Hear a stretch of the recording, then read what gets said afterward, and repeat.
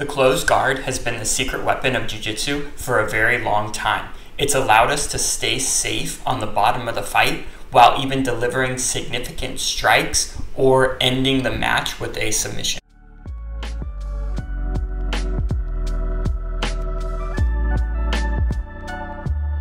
However, as people became more comfortable with the closed guard, they started to use the top position as a way to deliver significant strikes to their opponent.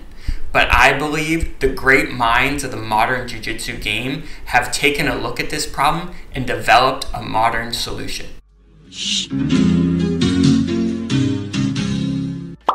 Just a quick reminder before we get into the video. February 1st is the planned launch date for our Patreon or any other affiliates we're planning to work with in the future. And once the channel starts to make money, we're going to be doing a lot more giveaways. So if you haven't subscribed already, consider subscribing so you don't miss out on any of that. So now with the business out of the way, let's dive into the video. And the goal of this video is to determine the best guard for MMA. So first we're going to talk about the evolution of the guard, and then we're going to talk about the biggest flaw I see in the current MMA guards. And three, we're going to talk about what I believe is the best guard for MMA.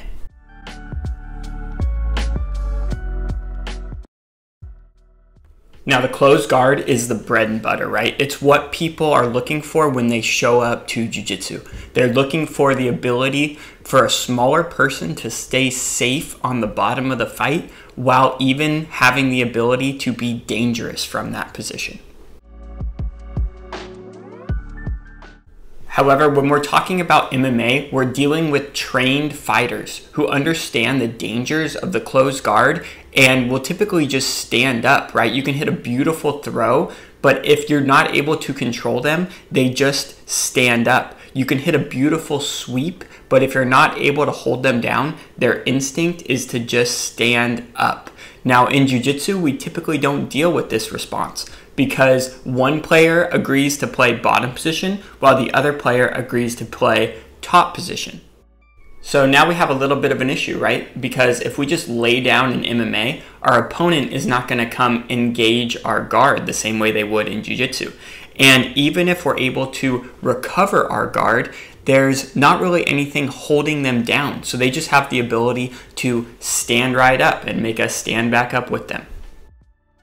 Now, Eddie Bravo thought long and hard about this problem, and he created the rubber guard system to make it very difficult for our opponent to stand up once they were in our guard.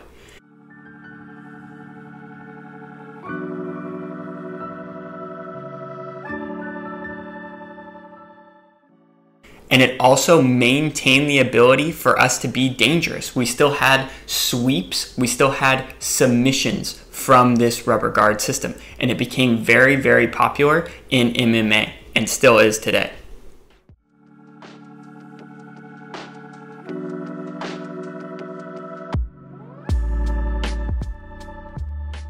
So the sweeps and the submissions that came out of the rubber guard were a huge innovation to the guards of MMA. But John Danaher was not satisfied because he believed that from guard you should be able to sweep your opponent, you should be able to submit your opponent, but you should also have the ability to stand up. And the current guards of both jiu-jitsu and MMA were severely lacking in the threat of standing up. So much so that our opponents don't even respect us coming up on top of them, and they'll just let us push them down to the ground. So now in the jiu-jitsu world, there's been a bit of a push to develop skills that allow us to be a legitimate threat to our opponent by standing up.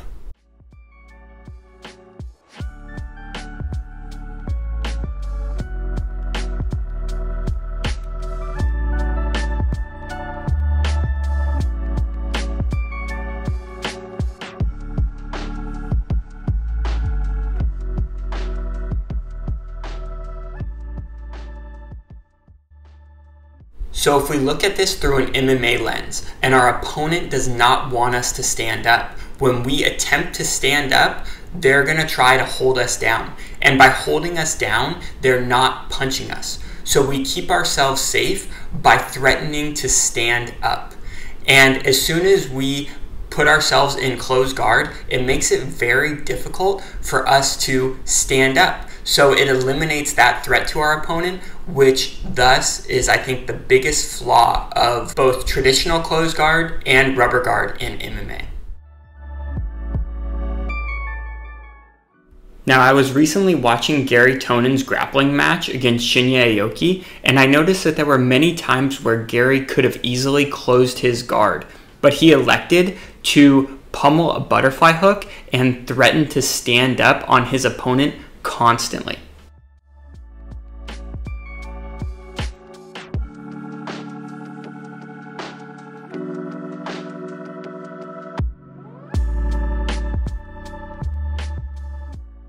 There are also times where Shinya Aoki is almost pulling himself into close guard, and encouraging Garry to close his guard.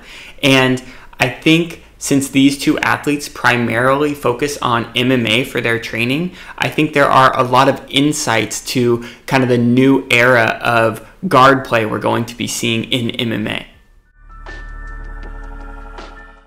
In the world of Jiu Jitsu, half guard is becoming more and more popular because it still gives you the ability to sweep your opponent, to submit your opponent, but also starts you halfway to a single leg. So if you are able to stand up, you're standing up with their leg on the attack.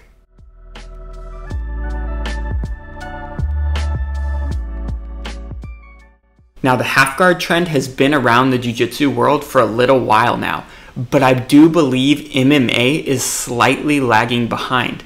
But if we watch some of the cutting edge athletes of MMA, we can see them using half guard as a way to constantly threaten coming up on their opponents.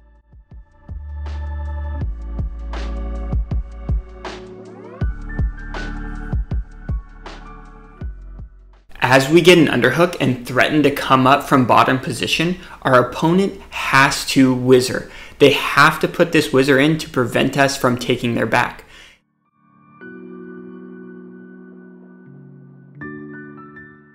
They have to put their other hand out as base. So now both their hands are occupied. We're not being punched, and we have the ability to threaten our opponent with different sweeps and different forms of attack from this position. But it all starts with the ability to threaten coming up to our feet.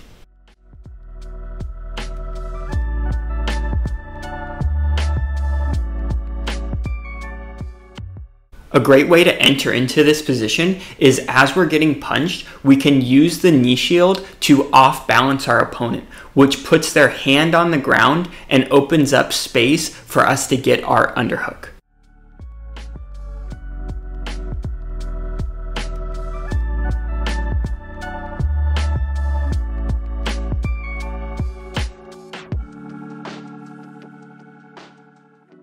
And as our opponent tries harder and harder to hold us down, they open up space for us to attack. And no one does that better than Garry Tonon.